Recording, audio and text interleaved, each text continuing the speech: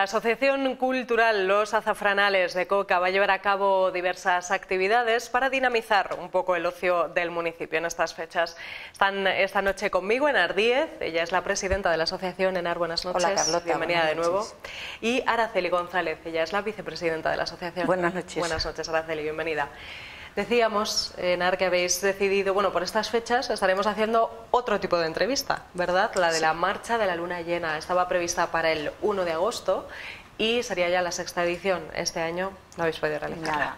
Este año, pues como siempre y todo el mundo repite, por la situación que estamos, pues imposible, porque mm, nos juntábamos unas 1.500, 1.600 personas y entonces como que, bueno... Inviable. Inviable. Eh, este, este año iba a ser para la recaudación para ASCOL, que son enfermedades de la sangre en Salamanca. y, bueno, pues ya lo hemos, hemos, hablado con ellos y le hemos dicho, no os preocupéis, que para la próxima pues seguimos en pie y para vosotros será también. Entonces, pues eh, hemos querido hacer un pequeño homenaje al día de la marcha de luna llena, porque para Coca y sus alrededores significa mucho. Y hemos eh, preparado un concurso eh, que se darán los premios el día 1 y, consiste en hacer composiciones, eh, composiciones con las camisetas de los años anteriores, que son de todos los colores, es colorido. Y, lo, entonces luego hay un jurado que elige a los tres primeros premiados y el día uno los entregamos en, la plaza. Mm. Eh, colaboran con nosotros el ayuntamiento y Grupo Copese, porque los premios consisten en tres lotes de productos de Eresma entonces, bueno, pues eso es un, poco como acordarnos un poco de, la marcha. Eso es un guiño. Y además vamos a poner una pantalla grande en la plaza con todas las imágenes, que hay muchísimas imágenes de, la, de todas las marchas, y para que la gente recuerde, las vaya viendo y todo esto. Un poco, pues eso, un poco homenaje a la marcha que este mm. año no se ha podido hacer, pero que el año que viene pues eh, queremos retomarla con toda la fuerza que la hemos dejado. Por supuesto. Araceli, eh, cuéntanos un poquito, vamos a recordar también nosotras aquí, si os parece, la marcha de Luna Llena. ¿Qué se vive? ¿Qué, qué es? ¿Qué, mm, cómo es Yo lo vivo muy desde dentro, pero vamos, creo que todo el mundo lo vive, lo vive casi igual que nosotros.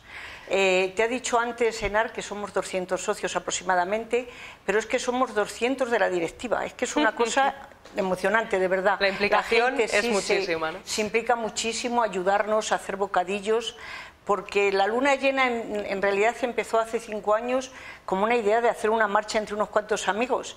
Y bueno, dijimos, pues si no somos solamente unos amigos, somos unos 300, vamos a pedir 300 camisetas se vendieron visto y no visto. Entonces eh, aumentamos a 500, a 700, hasta 1500. Ese día, además de hacer una marcha, hay diferentes actuaciones musicales, porque Coca mucha tradición musical. Entonces, bueno, pues todo eso también anima. Y luego al final hay como una pequeña fiesta en donde se da un bocadillo, se da una botella de agua, antes además de Coca-Cola u otro refresco, ahora agua, y también se da una canastilla de fresas eh, muy sabrosas y muy ricas y se pone algo de música en la plaza. Entonces, bueno, pues es siempre entre últimos de julio y primeros de agosto, según pille la luna llena, y no tiene una fecha fija porque la luna se mueve. Entonces, bueno, pues eh, la verdad es que es una fiesta muy bonita. El primer año nos llenó de agua, llovió una tormenta terrible, pero no se desvirtuó la marcha. La gente siguió mojado y luego la fiesta bailando y bueno, pues no sé, nosotras estamos muy contentas de hacerlo y creo que el pueblo nos agradece que lo hagamos y mm. trabaja con nosotros. Bueno, pues este, este año tenemos ese pequeño guiño, ¿no? esas composiciones con las camisetas de otros años que se pueden hacer y se pueden presentar a ese concurso. Pero es que además vais a hacer otro homenaje a Asteris y Obelix, ¿no, sí. Es, bueno, llevábamos tiempo con esa idea rondándonos en la cabeza la directiva porque mucha gente no lo conoce realmente mm. lo que significa Asteris y Obelix en Coca pero tenemos una placa en su recuerdo en la puerta de, en la fachada del instituto. Y nosotros hemos querido mm, como popularizar esa, esa placa para que la gente conozca el por qué está ahí la placa y, y darlo bueno y hacer una pequeña esto habría sido otra cosa.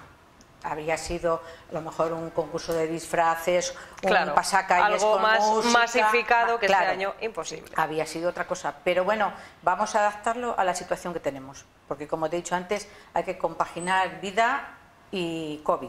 Entonces vamos a intentar si no hay ningún problema de aquí a entonces, porque si hay algún, pequeño problema o algo, mm, pues ya, claro, se, suspende. Pero con toda la seguridad y aquí vamos a organizar pues como una comitiva de galos y romanos que representando la viñeta donde aparece Coca. Ajá, porque hay una viñeta de, de Asterix donde aparece Coca. Aparece Coca, como que los galos pasan, vienen a España, que es un tomo de, toda la colección. Los galos vienen a España y pasan por un pueblo que se llama Cauca, que están en fiestas. Anda. Sí, luego tengo el libro ahí, si quieres luego te enseño la Hombre, claro. y entonces pues nosotros vamos a hacer una recreación de esa viñeta con los personajes que aparecen, con, aparte de Asterix y Obelix, y vamos a ir a, los jardines, a la zona de los jardines, y allí, bueno, pues es que se va a descubrir una placa de cerámica preciosa con la, con la viñeta y se va a instalar en un, en un muro. Mm. Entonces ahí vamos a tener ese recuerdo, porque la placa de la fachada apenas se ve ahí se va, a, se va a ver más. Más todavía. Y se va a enterar todo el mundo por qué lo de Asterix y Obelix en Coca. Bueno, es que Coca es tan bonito que invita a hacer una viñeta en Asterix y Obelix y en muchísimas otras cosas, porque es precioso, es verdad, la villa. Em, pero es que además, eh, bueno, estas son algunas de las actividades que vais a hacer, como decíamos, por supuesto todo controladísimo, con aforos y lo primero es la salud. Pero es que durante el confinamiento creo que tampoco habéis parado de hacer cosas. No, bueno, bueno. Eh, bueno, sí, hemos hecho un viaje virtual. Eh, estuvo muy bonito, la verdad que estaba programado para la misma fecha que le hicimos. Y bueno, tenemos un grupo porque esta asociación tiene como varias vías diferentes. Entonces, entre ello hay pues hay cruce lectura, hay senderismo, hay jotas, hay varias cosas. Entonces, una de las ramas, la de senderismo, íbamos a ir a ver eh, Orbaneja del Castillo. Entonces el viaje virtual consistía en que íbamos parando en Alar del Rey, comentábamos, allí hacíamos un almuerzo, después íbamos hasta mm, hasta Fontibre, allí contábamos dónde nace el Ebro y, y, bueno, también hablábamos un poco algunas, pero entre medias de que las de la directiva metíamos nuestra cuña particular y en Orbaneja del Castillo también, cualquiera que estaba apuntado en senderistas también podía hacer el comentario, pasaba un trozo de borcadillo virtual a su compañera, bueno, hubo risas y hubo comentarios y hubo, bueno, bueno, lo pasamos, fue un día que no nos desprendimos del móvil y que todos participaban y ponían cosas como si de verdad hiciéramos el viaje. Como si estuvieras de viaje. Sí, sí, sí. La verdad que fue un día, yo para mí fue un día muy bonito porque todo esto que comentábamos de Alar del Rey, de Fontibre, todo esto de Urbaneja del Castillo también sacábamos fotos y sacábamos textos y se hablaba sobre ello. O sea, estuvo, fue una actividad yo creo que muy bonita para no haber tenido ninguna trayectoria sobre ello. Es que fue de decir, vamos a hacerlo. como si estuvieras allí, pero sin estar. Sí, sí, sí. Eso es. Además, que íbamos en el autobús y todo. Nos va a servir para cuando lo hagamos, lo podamos hacer realmente, ya vamos un poco más preparados. Y ya además sabéis cositas, ¿verdad? ¿Te acuerdas de que hablábamos de ah, esto? pues mira, pues esto vamos a estar un poco más preparados para hacer el viaje. A las 10 de la mañana aparecía el autobús, claro, todo en pantalla y pasaba lista en AR, íbamos subiendo al autobús, de verdad que fue como si fuera real. Yo creo que más emocionante, fíjate. Pues sí, la imaginación no tiene límites y en este confinamiento desde luego que lo hemos puesto de manifiesto. Además habéis tenido gestos solidarios, habéis hecho una campaña de recogida de alimentos, además de otras iniciativas, ¿no? Para ayudar un poquito, para poner ese granito de arena vuestro a esta pandemia ¿no? y a la gente que lo estaba pasando mal. En sí. Bueno, pues mira, hemos hecho al principio cuando todo estaba tan mal y que no había material para nadie, pues decidimos la directiva, claro, que son los que tenemos que tomar las decisiones, eh, donar ciento, digo 1.500 euros a, Mundo Laboral, Batallón de Costura y la asociación que, que se llama Aspace, Aspace, que fue lo que organizaron ellos. Bueno, pues eh, dijimos, bueno, como no se van a poder hacer actividades, que siempre se apoya a los socios en las actividades o para las comidas, el dinero que aporta cada socio, pues luego hay que repercutirlo en actividades y cosas de estas, ¿no?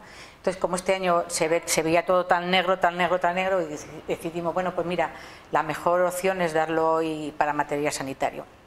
Y luego después hemos hecho una recogida de alimentos por los establecimientos de, de coca y muy bien para Cruz Roja. La gente y entonces, bueno, pues eh, es que eso es lo que tocaba.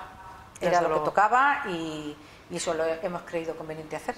Decía Araceli, la gente ha respondido. Sí, sí, sí, Así ha sido. Ha habido, oye, pues se llenaban las cajas, eh, se iban mm, poniendo otras vacías, se volvían a llenar y bueno, pues cuando lo recogieron, pues sí que había una cantidad muy maja para el pueblo que es, pues sí que había alimentos, sí. La gente respondió a ello. Pues chicas, muchísimas gracias por haber estado con nosotros esta noche, también por dar a conocer estas actividades, porque aunque sean poquitas, pues eh, yo creo que tenemos ganas ¿no? de salir y disfrutar, como ha dicho Enar, de compatibilizar ¿no? la vida, que hay que seguir hacia adelante como se pueda, con pues todo esto que estamos viviendo. Sí, sí, eso tienes toda la razón. Y así seguiremos. Muchísimas gracias. Gracias, gracias a ti. Venga, que vaya bien. Nos vamos a publicidad, un anuncio y seguimos hasta ahora.